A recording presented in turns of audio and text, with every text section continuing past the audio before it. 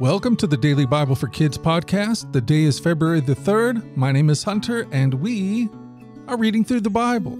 That's something we do every day. We take time in God's Word, we let His Word take its time on us. In fact, kids from all around the world gather here to listen to these amazing stories from the Bible, from Genesis all the way to the book of Revelation. And today we are in the book of Exodus. You know, the tougher Pharaoh got on the Israelites, the more discouraged they became.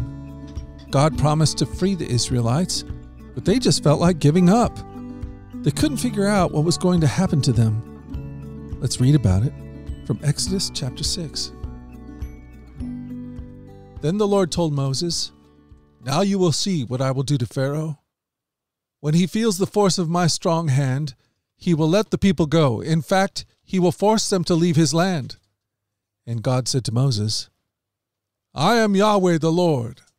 I appeared to Abraham, to Isaac, and to Jacob as El Shaddai, God Almighty, but I did not reveal my name Yahweh to them. And I reaffirmed my covenant with them. Under its terms, I promised to give them the land of Canaan, where they were living as foreigners. You can be sure that I have heard the groans of the people of Israel, who are now slaves to the Egyptians and I am well aware of my covenant with them. Therefore say to the people of Israel, I am the Lord. I will free you from oppression, and I will rescue you from your slavery in Egypt. I will redeem you with a powerful arm and acts of great judgment. I will claim you as my own people, and I will be your God. Then you will know that I am the Lord your God, who has freed you from your oppression in Egypt I will bring you into the land I swore to give to Abraham, Isaac, and Jacob.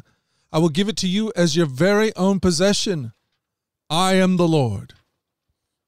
So Moses told the people of Israel what the Lord had said, but they refused to listen any more. They had become too discouraged by the brutality of their slavery.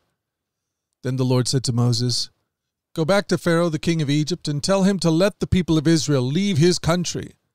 But Lord, Moses objected, my own people won't listen to me anymore. How can I expect Pharaoh to listen? I'm such a clumsy speaker. Wow, what a story. God promised to free the Israelites from slavery, but they still wanted to give up. They had a hard time really believing that their situation would ever change.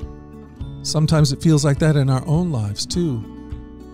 But we're going to learn from Moses as we go on in these stories that even when we're feeling our lowest and most discouraged, that's where Christ meets us. That's where He's come to set us free, to show us how good He really is.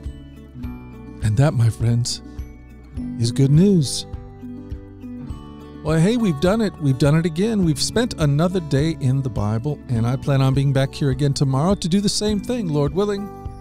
Lord willing, and the creek don't rise, I plan on being here. Until tomorrow, let's go forward in God's joy. Let's let His joy be our strength. And let us always remember this that you are loved. No doubt about it. Alrighty, I'll talk to you again tomorrow. You guys take care.